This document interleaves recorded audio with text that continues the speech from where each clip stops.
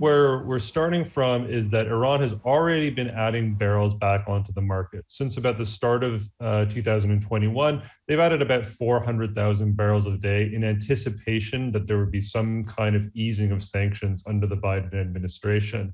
Now, that tracks with what we saw in 2016 when the JCPOA came into effect. Uh, for the first time, Iran was able to increase production quite quickly, by adding about 750,000 barrels a day in, in about half a year's time.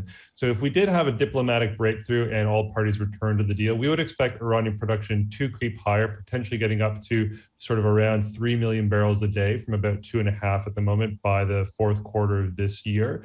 But even with that scale of an increase, we don't think that it's enough to really disorient or disrupt markets from uh, where they're holding right now. And sort of the high 65 plus um, dollar range for the Brent market, at least, given that we are expecting to see a solid demand recovery in the second half of the year. The big question, I think, will be if Iran is more freely able to export crude, will the rest of OPEC Plus seek to bring them into the OPEC Plus production agreement and impose a quota on how much Iran is able to produce?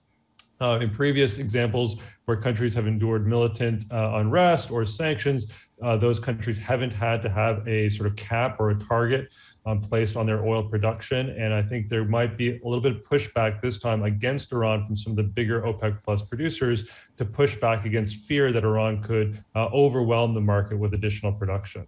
Well, we think that oil prices can look pretty well sustained at their current kind of levels. So we're expecting to see them hold at around sort of a 65 to $70 range uh, for Brent for the rest of the year. We'll have to bear in mind what OPEC Plus does, and we think that they'll be cautious to avoid adding too many barrels suddenly onto the market. So it's really going to be up to their monthly um, ministerial meetings to set the near-term directory direction for prices going forward.